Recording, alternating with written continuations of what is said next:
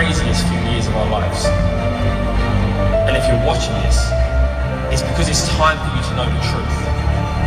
Time for you to know what happened. Each person is born with a limitless potential, which becomes trapped, shackled deep within the subconscious.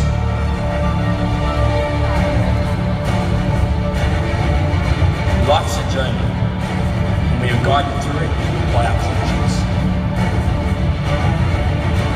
Voice in our head that tells us if something is right or wrong.